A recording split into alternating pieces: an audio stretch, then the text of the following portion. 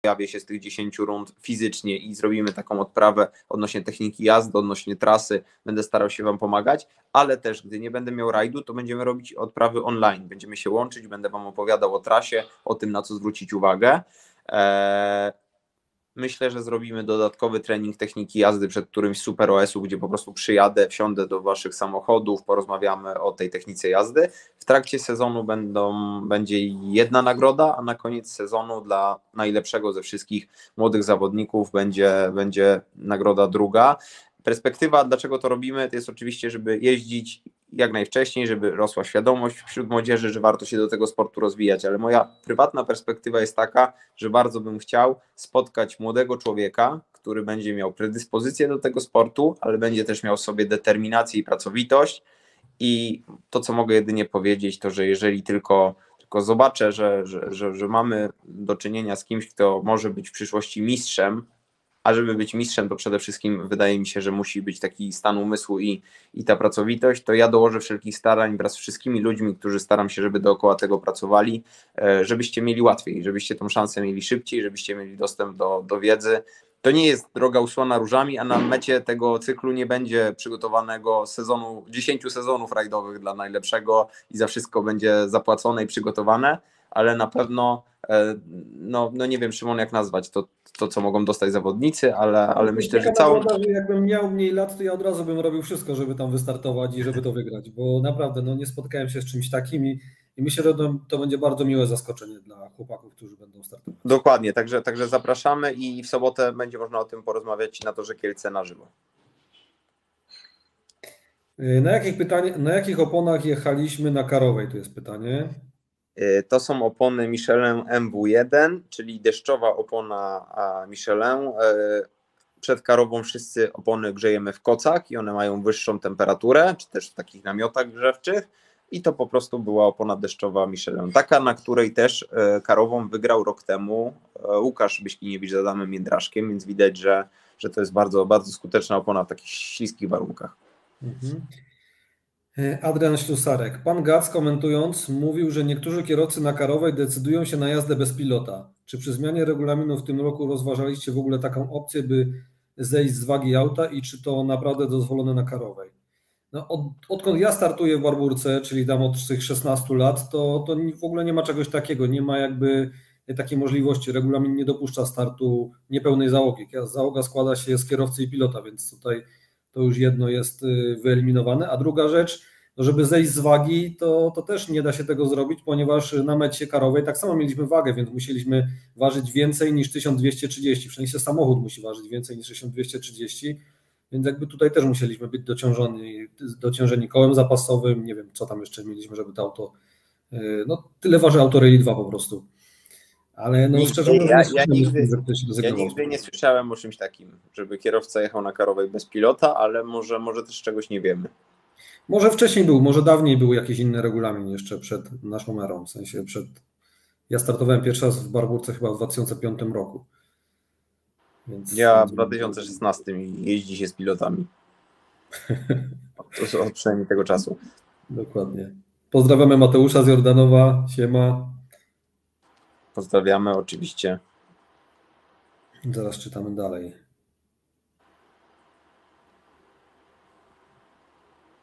Kiedy ogłosicie plany na 2024? Myślę, że w styczniu albo w lutym, realnie na początek e, przyszłego roku. Cały czas prace tak naprawdę nad tym, nad tym trwają, a żebyśmy mieli konkretny program startów, to myślę, że musimy poczekać jeszcze miesiąc albo dwa. Czy myślałeś o zmianie Skody na Toyota Yaris GR w nowym sezonie? Tak naprawdę, tak naprawdę, czy, myśleliśmy o tym? Współpracujemy, współpracujemy ze Skodą, z Volkswagen Financial Services od wielu, wielu lat i e, to jest też element tego, tego, dlaczego jeździmy Skodą Fabia RS Rally 2, choć myślę, że jakby zastanowić się na chłodno i pominąć aspekty sportowe, to Skoda w tej chwili gwarantuje największą bezawaryjność i szybkość. Co będzie gwarantowała Toyota, okaże się w przyszłym roku. Mówi się o tym, że auto się dobrze prowadzi e, i e, ma nie za, nie za mocny silnik w tej chwili. Nie wiem, jak będzie, będzie dalej w rozwoju tego samochodu. Natomiast e, w przyszłym roku planujemy startować z Kodą Fabia RS Rally 2 i wydaje mi się, że to będzie nadal albo topowy wybór, najlepszy, albo jeden z najlepszych. Tak to egzekwo bardziej niż, że któreś auto będzie szybsze, więc na ten czas jedziemy z Kodą. Jakie jest Wasze zdanie na temat tego, iż od sezonu 2025 dostawcą opon będzie Hankook? Widziałem to dzisiaj, zaskoczyło no, mnie to. Mnie to też bardzo zaskoczyło. No, normalnie byłem pewny, że to będzie Michelin, a tu, a tu Hankook. No. Nie wiem, nie wiem, nie mam, nie mam zdania, nie, nie, nie stworzyłem jeszcze tak, tak w swojej głowie myśli na ten temat. Myślałem, że może to być dowolny, że będzie znowu walka, walka tak. producentów, tak to nazwijmy. Pytanie, co to są za opony? No jeżeli będą dobre, no to dobrze, a jeżeli będą, będą słabe, no to dla wszystkich będą słabe, to jest jeden fakt, a drugi, no pytanie, jak ja się odnajdę na nich jako, jako, jako, jako kierowca. Natomiast na ten czas zaskoczyła mnie ta decyzja. No też byłem bardzo zdziwiony, że, że akurat Hankook. No to jest, słuchajcie, też polityka, to są pieniądze związane z tym, że może możliwe, że zapłacili po prostu, żeby promować e, markę. FIA się na to zgodziła, bo, bo, ten, bo ten kontrakt miał sens. Widziałem, że tam kilka kryteriów było przy wyborze. Rozmawiałem, rozmawiałem za to, powiem Ci, Szymon, z Tomkiem Lichowskim, czyli z właścicielem marki Extreme e, z mhm. Polski. I Tomek też tam planuje, już w tej chwili chyba wypuścił oponę rally crossową, ale ma w planie sportową oponę rajdową, rajdową na nową, nie, nie, nie na lewkę niebieżnikowaną.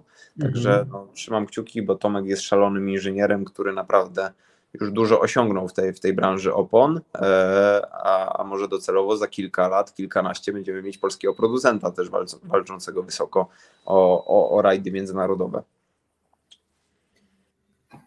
Yy, mam tu jeszcze pytanie, czekaj, bo to mam przesłane. Czy w sezonie 2024 wystartujecie oprócz rajdu Polski, na przykład w rajdzie świdnickim? Myślę, że w rajdzie świdnickim e, nie damy rady wystartować, ale zobaczymy jeszcze kalendarze. To w tej chwili najbardziej dwa prawdopodobne cykle, z których może będziemy musieć, y, musieli wybierać, to jest cykl Mistrzostw Europy ERC i cykl Mistrzostw Świata WRC 2. Myślę, że przede wszystkim myślę, że przede wszystkim e, rundy europejskie. Z tego, z tego, z tego, co, z tego co. Przepraszam, przepraszam, przepraszam. Momencik. Już, zaraz wrócę. Nie. Czek. Dobra. Tutaj jest pytanie, czy mamy w planie wyjazd na zapoznanie bądź start w Monte Carlo. Yy, no w tym roku myślę, że nie mamy takiego, takiego planu. Byliśmy w zeszłym roku albo dwa lata temu na zapoznaniu Monte Carlo. Wtedy to akurat był suchy rajd, także mniej więcej zrobiliśmy no, taki rekonesans. Teraz wiem, że rajd będzie bliżej Gab w Alpach, także pewnie będzie Inna charakterystyka pewnie będzie bardziej śniegowy, więcej lodu, więcej trudnych y, rzeczy na nim nas może spotkać, y, ale no z tego, co już wcześniej rozmawialiśmy z Miko, w tym roku Monte Carlo nie planujemy. Tak naprawdę lista zgłoszeń zaraz się zamyka i zaraz trzeba być pewnym, no, że to właśnie już trzeba wyjeżdżać. Przepraszam, ale był pożar śmieci, wiesz, tu u Zuzi i... O kurde. Nie trzeba ale... straży pożarnej wzywać? Według mnie nie. No, ale zobaczymy, zobaczymy jak się rozwinie sytuacja. Było pytanie o Monte Carlo. Jak to tak? będziemy po Zbyszka Brudkę dzwonić. Dokładnie. A mieliśmy przemiłe spotkanie przed Barburką, przewiozłem Zbyszka. No ogólnie przed tą Barburką dużo osób przewiozłeś. Myślę, że tak łącznie z 25-26 osób to było fajne, że można było przewieźć i kibiców i, i takich ludzi, którzy byli blisko nas. Dla mnie ta barburka miała mnóstwo takich przyjemnych e, fragmentów, elementów. Wiadomo, że na pewno na to wpływa też ostateczny wynik, ale, ale te testy też bardzo miło wspominam. Nie dość, że takie wydajne na różnych nawierzchniach, na różnych próbach sportowych, to jeszcze, że co chwila kogoś wiozłem po prostu, co chwila. No, Jak nie pana od, od koparki z solą, to naszych bliskich, to kibiców, to konkursowiczów, wszystkich. No i olimpijczyka Zbyszka Brudkę.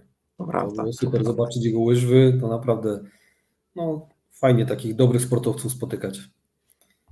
Y, Dokładnie. O której tam przychodzi Daniel z Kubą do studia? Myślę, że za jakieś 3 minuty 50 sekund tak rozmawialiśmy, że to będzie 19.40. Tutaj jakiś Adrian pyta, czemu nie powiemy prawdy, tylko nie wiem. Ale w jakiej sprawie? No właśnie, najpierw w jakiej sprawie, to zaraz powiemy. W jakiej sprawie, to prawda. Y, Kuba tutaj pyta, czy jest w przyszłości plan na przesiadkę do samochodu Rally 1? jeżeli będę dostatecznie szybkim kierowcą, to na pewno, ale zobaczymy, czy, czy, czy dojdziemy do takiego momentu. Na razie myślę, że Rally 2 jest adekwatnym samochodem do tego, do tego, co ja reprezentuję jako kierowca, choć Szymon już myślę dałby radę bez problemu podyktować w aucie Rally 1 w, w topowym tempie. No a co powiesz o tym, że Mikkelsen jest w Hyundaiu? Nie ma Suninena? Za, zasłużenie. Tam ta karuzela tych kierowców, którzy są prawie tak dobrzy jak najlepsi, albo trochę, ale są nadal trochę gorsi, no to cały czas wymieniamy tymi nazwiskami. Lappi, Suninen, Mikkelsen, oni nadal są lepsi niż cała reszta, ale trochę im brakuje do tego topu, tak? Do Evansa, Tanaka, Rowantery, więc no trzymam mhm. kciuki niezmiennie za, za, za, za Andrasa. O, dzień dobry. Siemano. Dzień dobry. Albo dobry wieczór. Cześć Lopez. Cześć, o, takie, takiej transmisji jeszcze nie mieliśmy. Musimy, musimy pomyśleć o tym, żebyśmy w ogóle zebrali taką całą grupą rajdową i w 20. A to ktoś by musiał to prowadzić, bo tak wiesz, zakrzyczymy się jak politycy przy stole. To, jak, to, to by było jak na debacie, po minutę każdy ma wypowiedzieć. Tak. Albo jakiś moderator. No, dokładnie. Nie no, fajnie, fajnie Was widzieć, panowie. Miło, że przyjęliście nasze zaproszenie.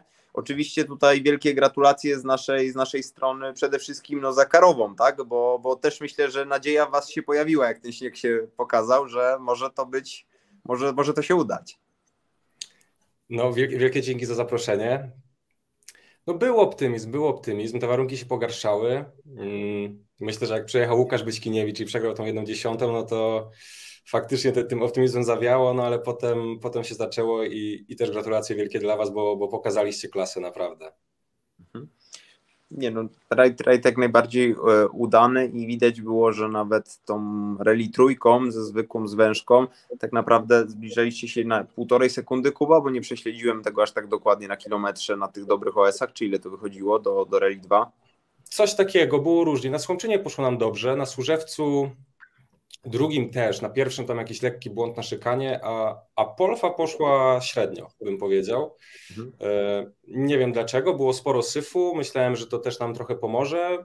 Ok, jechaliśmy na, na sliku na, na 7 plusie, ale no i tak się dość mocno ślizgaliśmy. E, a, a te 90 głównie jechałeś z ręcznego czy z kierownicy? Różnie, różnie. Tak pół na pół, ale raczej na okrągło się starałem jechać. Okej, okay, no bo my jechaliśmy, my, jechaliśmy na okrągło ten pierwszy przejazd. No. E, no. i nie było tempa za bardzo, tak wolno staliśmy trochę w zakrętach i potem zaczęliśmy podcinać trochę to auto i w tej drugim przejeździe już było lepsze tempo, no ale to nadal chyba było sekundę za Łukaszem Borowskim, więc mhm. jest trudny OS. Trudny, trudny. Trudny też był do opisania. Nie, nie wiem jak wy, ale my sobie jakieś tam takie informacje e, dawaliśmy, gdzie skręcić tak naprawdę. Jak wiedziałem, że nie będzie kibiców, to było takie jeżdżenie trochę po takim placu i, i tak na zapoznanie mi się wydawało, że nie do końca będę wiedział po prostu, czy na pewno tutaj. Więc jakieś tam informacje sobie dawaliśmy typu przy budynku, coś, coś takiego. To prawda, to prawda, dużo takich dziewięćdziesiątek, natomiast y, to, to dobrze poszło. Lopez, dobrze Ciebie widzieć, bo no, jesteś już tutaj częścią naszej historii rajdowej wspólnie z Szymonem przez ten rajd Europy, Europy Centralnej. I do no tak, Ciebie... Tak, nie wiem, nie wiem co, co nurtuje kibiców, ale mnie to bardzo ciekawi. No, ty, wiadomo, że się przesiadacie często między też różnymi kierowcami jako piloci, ale jakbyś miał powiedzieć takie największe różnice we współpracy tutaj z Kubą, z którym jeździsz na co dzień, a do skoku jak tu wsiadłeś ze mną, czy było dla Ciebie to bardzo podobne, czy coś, coś, coś nas różni, e, zdecydowanie któryś więcej je, albo któryś mniej je, albo któryś jest bardziej nieznośny, jak to odebrałeś? Kurde, zadałeś mi strasznie dużo pytań, wiesz? Hmm. Ja tu chciałem się skupić, wiesz, na odpowiedzi na barburce, a tutaj, wiesz, mnie zasypałeś, nie? Dobra, to powiem najpierw o barburce, tak, tak, że a tak. propos tak. tego OS, na którym, powiedzmy, najsłabsze czasy mieliśmy względem właśnie e, Was, czy ogólnie Out Rally 2, to tam upatrywaliśmy, ja tak sądziłem, że tam mamy największe szanse, przez to, że to taki OS był bardzo rajdowy, e, no wyszło inaczej. Rzeczywiście na odcinku, gdzie myślałem, że będzie troszeczkę E, słabiej było najlepiej, czyli na, na, na Słomczynie po prostu i pierwszy i drugi przyjazd było super. Także to, to jeśli chodzi o, o ten temat. A kwestie, wiesz, jednego startu e, tutaj z Tobą akurat, więc e, i porównania, tak czy tak, to obaj jesteście młodzi i podchodzicie do tego bardzo profesjonalnie i się przygotowujecie do tego od A do Z, więc mi jest tu ciężko jakby i nie chciałbym robić porównania, bardziej na takiej zasadzie, że wiesz to, że siadasz z gośćmi, którzy do tego podchodzą profesjonalnie, do tego, się tak, do tego tak się przygotowują i w taki sposób też zachowują się od początku do końca, jeżeli chodzi o e, samo przygotowanie przed rajdem, e, sam rajd, no i tyle. Więc jakby tutaj jest e, dla mnie bardzo komfortowo, bo opis podobny, jakby nawet właśnie tego się może troszkę obawiałem, bo nie wiedziałem, wiesz, wsiadając pierwszy raz z tobą, czy nie zaskoczy mnie coś, że będzie zbyt dużo informacji, wiadomo, auto Rally 2 trochę szybsze niż Rally 3, e, nowe OS-y, natomiast tutaj się nic nie pojawiło takiego, co by było bardzo zaskakujące, wręcz nie było za dużo tych informacji i no i tyle, jakby szybko się okazało, że, że to nie będzie mm, może nie powiem, że trudne, bo to tak y, łatwo zabrzmi, po prostu, że to nie będzie sprawiało wielu problemów dla mnie, dlatego że nie ma tam rzeczy skomplikowanych. To tak. A, Kuba, powiedz mi, bo jesteś na, na w miarę świeżo po testach autem Rally 2, jeżdżąc autem Rally 3 i robiliście to z tego, co pamiętam, jak rozmawialiśmy na jednym odcinku specjalnym. I gdybyś miał, miał powiedzieć kibicom o, o tych różnicach między tymi samochodami, to, to co naj, najbardziej zwróciło Twoją uwagę? No samochód jest po prostu szybszy, dużo szybszy, wszystko dzieje się szybciej. To była pierwsza taka różnica, gdzie te pierwsze przyjazdy, aż bym powiedział, trochę mnie przerażały, że aż byłem przerażony, że to auto po prostu cały czas przyspiesza i przyspiesza i przyspiesza.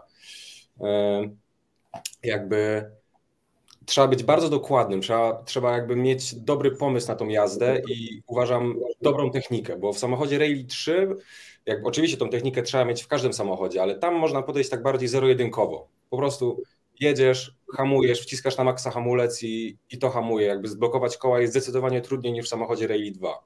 Tam po prostu można mm, w tej Rally trójce sobie iść takim ogniem. Ta, tak uważam. W Rally, w Rally 2 y, nie potrafiłem tego zrobić. Starałem się jechać szybko, dokładnie, czysto, tak powiedziałbym, od linijki. Tak trzeba, e, uważam, tym samochodem e, Rally 2 jeździć, tak po prostu bardzo dokładnie chociaż no jestem tam po około 100 km tych samochod, samochodem i, i na razie mam takie wnioski. Ale jest tak, że już się nie możesz doczekać, czy bardziej z niepokojem myślisz o przejażdżce ko kolejny raz Rally 2? Nie, nie, nie, no, nie mogę się doczekać. Nie, jakby na początku było to takie lekkie przerażenie, ale powiedzmy ono trwało z 15 kilometrów. Potem to już była, była naprawdę fajna, fajna jazda. Okay. Czyli szybko, szybko, szybko się odnalazłeś. Szymon, ty jesteś specjalistą naszym od y, czatu. Tam sprawdzasz, co, co, co się dzieje. No, już zeszliśmy na inne tematy i nie wiem, czy czytać w ogóle stare pytania, także wiesz. Nie, nie, śmiało, śmiało, śmiało, bo ja tak zadałem to, co, to, co mnie tam nurtowało, natomiast myślę, że tutaj jesteśmy dla kibiców przede wszystkim. Jak kogoś coś nurtuje, to śmiało, śmiało możemy odpowiadać. Tam pytanie było, dlaczego nie powiemy prawdy, że nie pojedziemy na Monte Carlo. No, nie wiem, bo ja właśnie to powiedziałem, więc nie rozumiem. Czyli kto, ktoś wie, to może jest jakiś cichy sponsor, niech się tam odezwie do nas, bo możemy... Jest anonimowy jakiś, więc nie dowiemy się, kto to jest, bo, bo ma takie konto. Słuchaj, jeżeli płaci za montę, może być nawet anonimowy, nie ma problemu. nie, nie, nie musi podawać swoich swoich. Na co chcesz położyć szczególny nacisk, przygotowując się do sezonu 2024? To pytanie jest i do Kuby, i do Miko. Ja tu będę moderatorem. Kuba, proszę. Na co, na co, na co kładziemy nacisk? Mm, na szybkość, na pewno. Na e, szybkość. Ja na kondycję fizyczną, wytrzymałość. Na szybkość nie narzekam. Za to mam problem z utrzymaniem jej przez, przez cały rajd WRC, więc, więc przede wszystkim na to, żeby mniej się stresować w trakcie takiego długiego startu, mieć lepszy opis, e, mieć taką wyższą stabilność na przestrzeni 300 km e, rywalizacji. A na co wy panowie stawiacie nacisk? Szymon Lopez. Niech Lopez odpowie, ja się zastanowię. Czekaj, bo ja się skupiłem teraz, zacząłem czytać pytania, więc a jakie było pytanie? Odnośnie... Na co będziesz kładł nacisk, przygotowując się do sezonu 2024? O kurde, na co będę kładł nacisk? Żeby mieć, e, że tak powiem, cały czas e, pełną dyspozycyjność i, że tak powiem, pełni sił. Inaczej, żeby było tak, że jak będą długie rajdy, to żeby tak jak Miko tobie powiedział, niedziela się skończyła, ja w sumie nie czułem, że byłem zmęczony, no może nie, żebym poszedł jeszcze kolejny etap, no ale generalnie, e, żebym właśnie tak się czuł, nie? Jak, jak po, że tak powiem, debiucie w Mistrzostwach Świata, e, żebym taki właśnie komfort miał właśnie na mecie rajdu.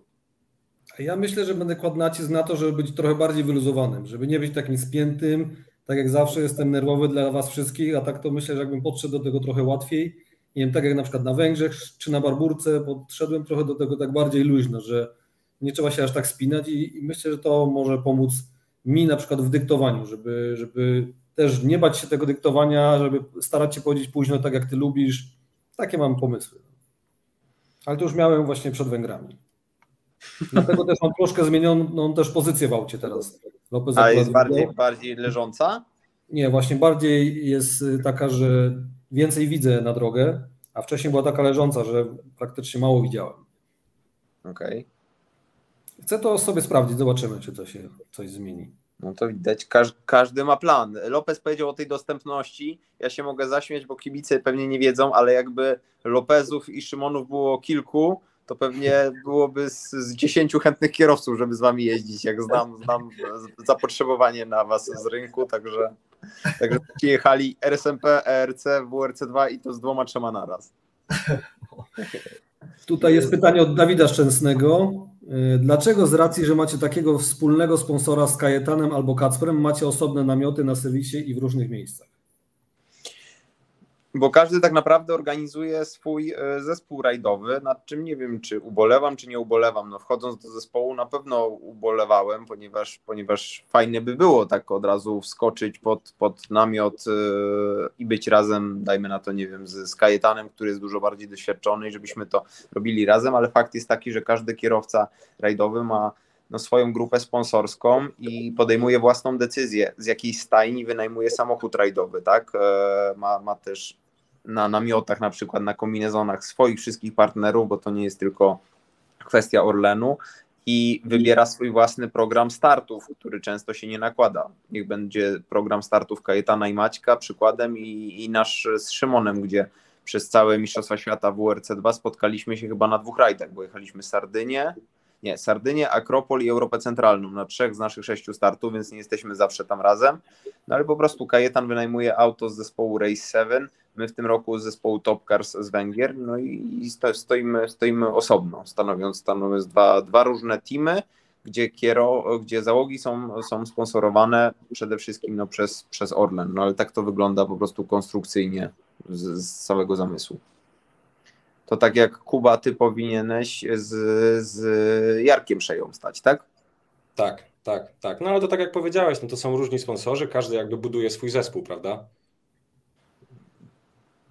Widzicie, Dobry. taki indywidualny sport. No. no dokładnie. Jest kolejne pytanie, czy Rail 1 z czasem upadnie po wycofaniu się któregoś z koncernów? Nie lepiej by auta klasy R5 były najmocniejszą klasą dostępną dla większości topowych kierowców i prywatnych zespołów? Pewnie, że lepiej. Ja bym, ja bym może tak zrobił, ale słyszałem też, że jest taki plan, żeby te Rail 1 nie szły w taką stronę, tylko żeby trochę Rail 2 była przerobiona z większym pakietem aerodynamicznym, pewnie z jakimś mocniejszym, nie wiem, e, z większą zwężką, żeby to była taka baza i tak słyszałem, że, że może w tym kierunku by coś mogło pójść. Nie wiem, co wy o tym myślicie, żeby to były te, te same samochody, tak jak dawniej RRC i WRC było.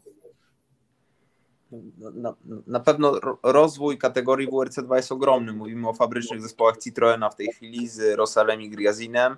Wiadomo jest, że Skoda też będzie miała e, taki fabryczny zespół. Hyundai z Lindholmem prawdopodobnie.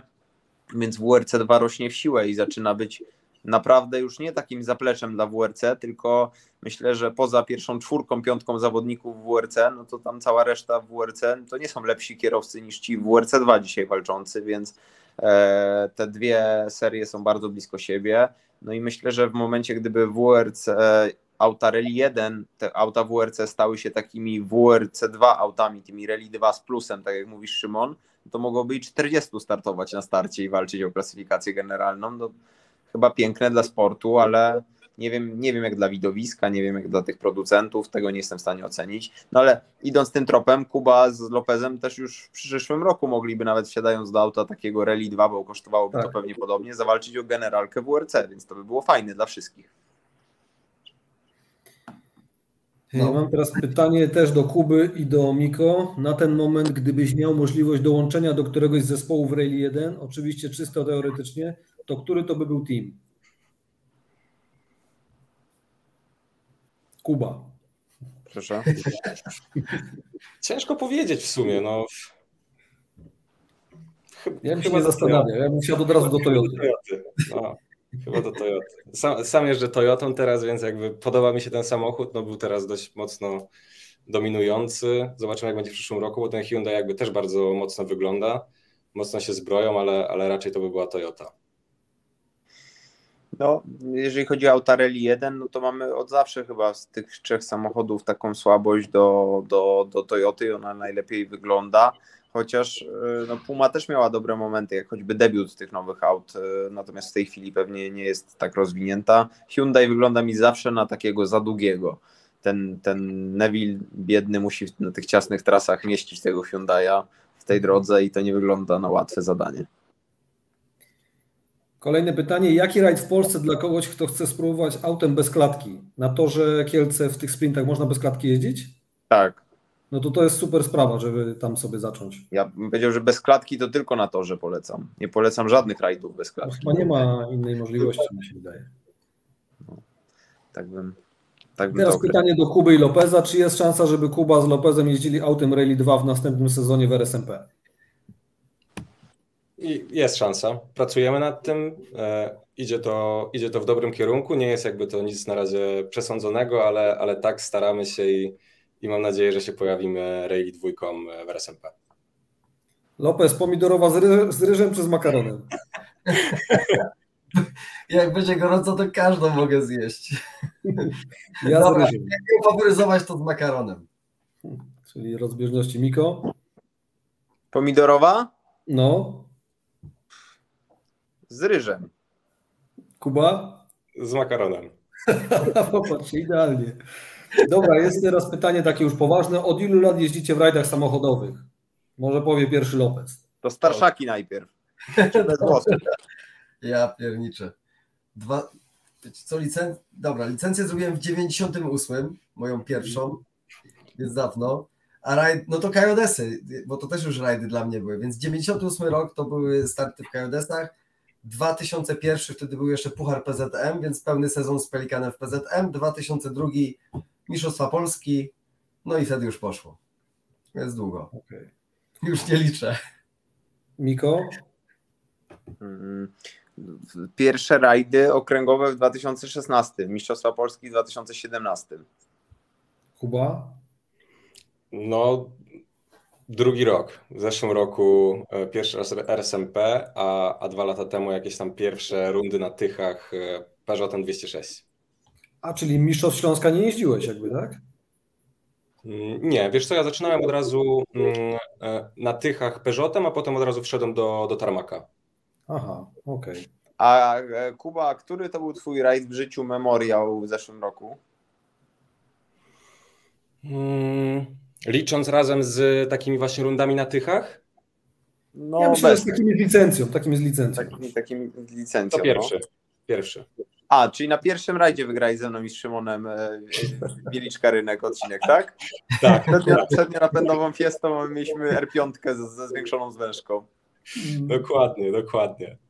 No, bo ścigali, ścigaliśmy się w mieście Wieliczce na memoriale, no i Kuba wygrał po prostu przejazd, tak to można opowiedzieć. No. No tak, tak. No jakby trochę, trochę to pomogło, bo miałem ostatni numer startowy, a kolejność była odwrócona, pamiętam. Ty miałeś jedynkę, więc ja jechałem pierwszy, a wy ostatni. Mi się jeszcze udało pojechać po, po mokrym, po śniegu, ale wyniki tego nie pamiętają już. To E, zostanie. Słuchaj, no ty dostałeś puchar burmistrza chyba Tak, dostałem. dostałem. za, za najszybszego zawodnika w Wieliczce wtedy. No. Tak, Fajnie. tak.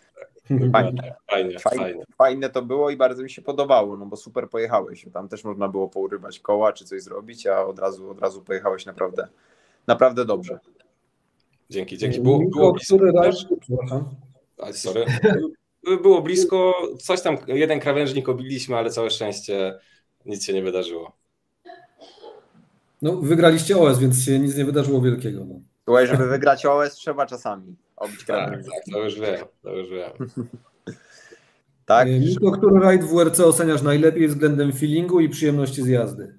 Estonia i Finlandia. I zarówno przyjemność z jazdy i nasz performance. Uważam, że pojechaliśmy bardzo dobry rajd Estonii i rajd Finlandii, tracąc średnio po 4,5 na kilometrze do, do najlepszych załóg WRC2 i jestem z tego zadowolony. Ja też tak myślę, że Estonia i Finlandia to był taki No, raz, że wielka przyjemność z jazdy, a dwa, że to, to wszystko wychodziło. No ten odcinek Otepa w Estonii to jest coś niesamowitego. Jak stoisz na starcie i wiesz, że, że ważne jest też, żeby twój kręgosłup przetrwał najbliższe 8 minut, bo będzie To skok, takie skok, skoki, kolejny skok. To jest, jest to mocne przeżycie, ale czujesz, że żyjesz. Teraz pytanie do Lopeza. Czy kombinezon na Europie Centralnej był za duży, czy za mały? Nie no, jakbym powiedział, że był w sam raz, to bym troszkę skłamał. Nie no, troszkę y, ten. Na... Szymon, sprawdzałeś na ciągłym, czy nie? No właśnie nie, teraz jak uberem na barburkę, wszystko ok, także wiesz. Okej, nie, nie, no troszkę był taki, że tak powiem, fit w nim byłem, więc był do, mocno dopasowany. Także Szymon jest na pewno szczuplejszy ode mnie. No, ale że runda WRC trwa cały tydzień, to Lopez zdążył, zdążył e, jeszcze schudnąć trochę w międzyczasie. Jak się tylko dowiedziałem, to przez noc, wiesz, jadąc już, wiesz, zeszło trochę. Nie jadłeś. Tutaj jest pytanie do naszych gości. y, Czy planują więcej startów zagranicznych w przyszłym roku? E, Planujemy, planujemy start zagraniczny rally trójką, e, głównie szutrowe, ale zobaczymy tak naprawdę jeszcze, jak te kalendarze będą wyglądać i, i, i na co po prostu będziemy sobie mogli pozwolić, ale tak, planujemy, planujemy jakieś szutry samochodem Rally 3. Okej. Y, Kiedy jakiś wspólny wypad w góry? Kiedy Szymon zorganizujesz nam? To Wszystko pójdziemy. na mojej głowie. No słuchajcie, ja 30 grudnia już wylatuję na Dakar, więc nie wiem, czy to się uda w tym roku. To w przyszłym. To w przyszłym. Pójdziecie? Pójdziecie w góry z nami? Pewnie, pewnie, bardzo chętnie. Ja mam niedaleko, także tutaj widziałem, że na Wielką Sołę wchodziliście, więc mam blisko. No dokładnie. Dobra, szukamy jeszcze jakichś y, pytań.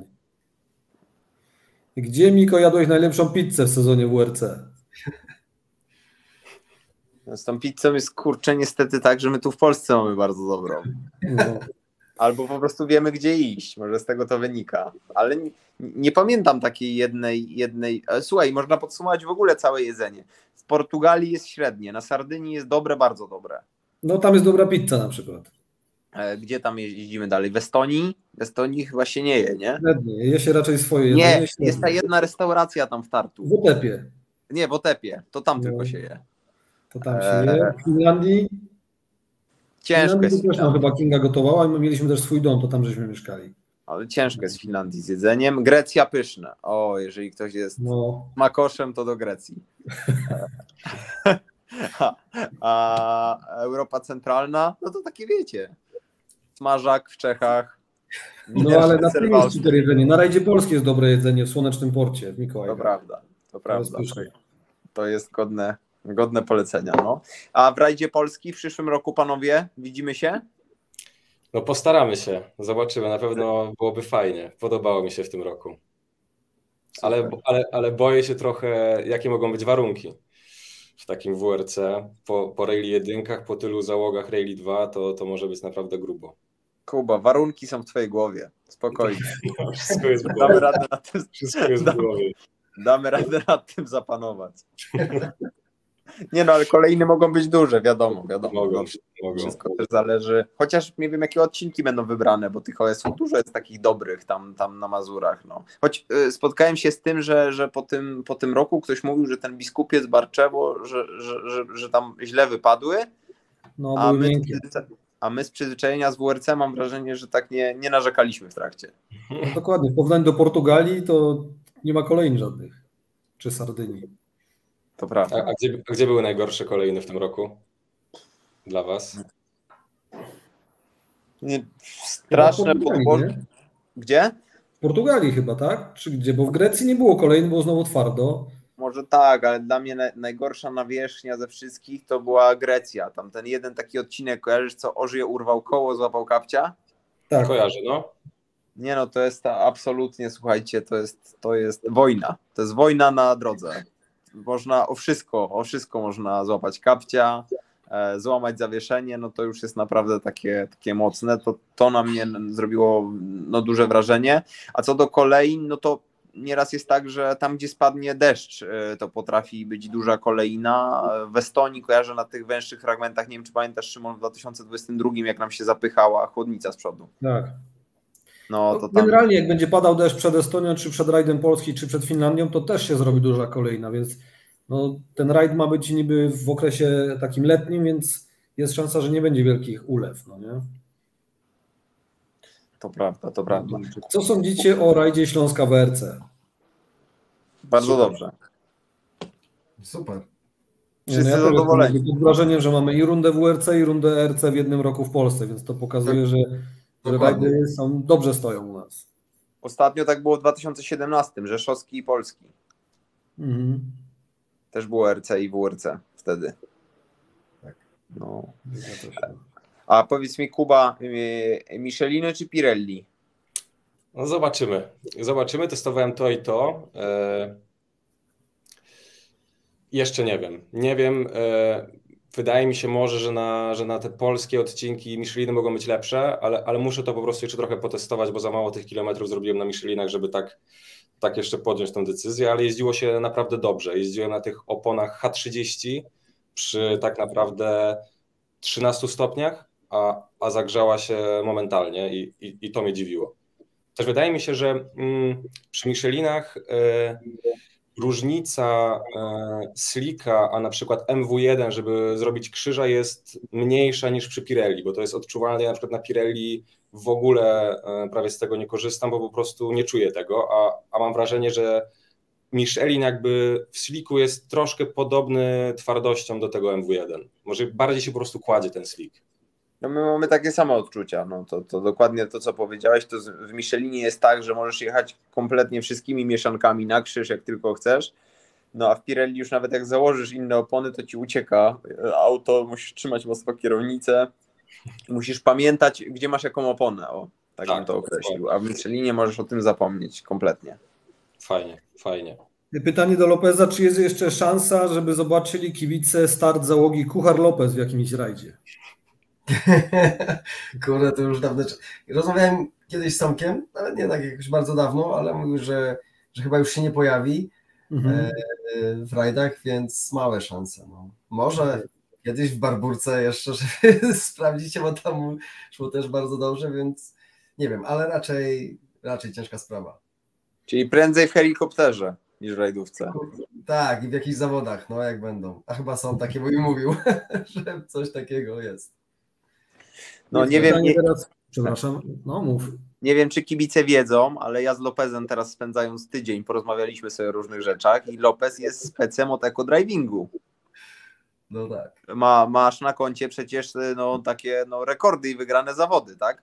Dokładnie, dwa razy tak, wygrałem w takich zawodach. No, Także domyślasz się, Szymon, że jak żeśmy się zgadali z Lopezem na eco-driving, to długie godziny były dyskusji, co się opłaca, co się nie opłaca. No jak jedzie automatyczną skrzynią z góry, to wrzuca na luz, czy nie wrzuca? To pytanie do Lopeza. No, w automacie? no. Co ty, w życiu nie pomyślał, żeby wrzucić na luz. No widzisz, nas ostatnio Marcin okrzyczał, jak tak robiliśmy. Tak? No, Tak, że nie wolno, bo wtedy nie ma smarowania, łatwo skrzynię zajechać. Ja nie wiedziałem. Właśnie- bo z perspektywy właśnie technicznej, nie? A nie eko. No, No, no tak. A gdzie się takie zawody odbywają? A na przykład w Świdnicy jest taki rajd o kropelce. I to na jakimś torze, czy nie? Nie, no co ty, jedziesz i masz ze 150-200 km do przejechania. Jeszcze po drodze jakieś różne, wiesz, rzeczy się dzieją. Super sprawa. To kiedy to jest, to ja bym się zapisał. Dobra, najpierw sprawdzimy, czy jesteś dobry. Najpierw musisz, wewnętrzne eliminacje musisz przejść nasze. Wiesz co, akurat teraz chciałem się wybrać, no to niestety kolidował termin e, z rajdem, więc, Mhm. więc się nie udało, ale mam nadzieję, że może w przyszłym roku jakoś w te kalendarze, kurczę, wiem z kim porozmawiać, więc może dam znać, żeby popatrzyli, teraz kalendarze już są, żeby dobry Dokładnie. termin był, to Szymon dam Ci znać. Dobra, to ja jestem. A i to jest w ogóle fajne, bo to jest temat rodzinny, więc można zabrać nawet całą familię, więc polecam weź sobie znajomych jeszcze do tyłu. No ale to jest masa wtedy, nie? No dobra, no coś tam wiesz, no. To scalanie większe, no to przecież nie mogę wziąć wszystkich. Słuchajcie, dlatego na pierwszy rajd, to tak od razu powiem, pojechałem z żoną, wygraliśmy go, Mhm. A później wziąłem córę, mówię, dobra, to będzie jeszcze tutaj też do kompletu, nie? Więc i też wygraliśmy, więc tak naprawdę dziewczyny przyniosły mi szczęście. Okej. Ja wiedziałem też co zrobić, więc wiem jak to się robi. Nie, Nie, fajnie, dobrze. przyjemny, można przyjemną sobotę spędzić. Mhm. I teraz jeszcze wracamy do barburki. W jakiej specyfikacji jechaliście barburkę? Więcej kilogramów, mniej mocy, czy odwrotnie? Nie wyglądało, żeby była odelżona dużo ta Fabia. Fabia czy Fiesta? Jest pytanie o Fabię No czy jest Fiesta? pytanie jedno do jednego i do drugiego, więc po kolei. Kuba może powiedzieć pierwszy. E, My jechaliśmy full, full seryjnym samochodem, takim jakim jeździliśmy przez cały sezon. To Czyli sama Rally zdałem, 3 że to było chyba 1210 kg, tak? Dokładnie, dokładnie. I na ważeniu ile wychodziło? Po Polfie? Daniel, kojarzysz? Nie, Eee. tylko nam tu nie kantować. My się trochę Właśnie. znamy na rajdach. Kurde, nie pamiętam. Ja 1200. Ja już, ja już znam Szymon tych, co mówią, nie pamiętam. Ale nie chcę te głupoty powiedzieć. Kurde, naprawdę nie pamiętam. No.